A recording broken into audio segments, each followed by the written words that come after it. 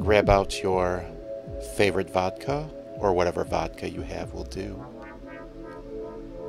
A can of ginger beer, and three slices of fresh lime. You're going to need one and a half ounces of vodka.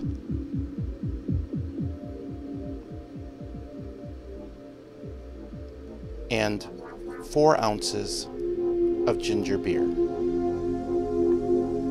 In your handy dandy copper mug or whatever cocktail glass you have, add two ice cubes, your one and a half ounces of vodka,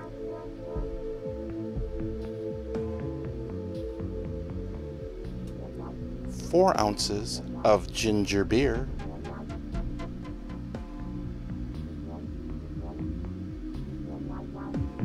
and those refreshing slices of lime.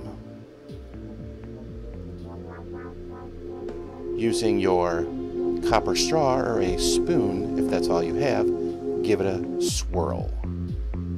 And enjoy your amazing quarantine cocktail, the Moscow Mule.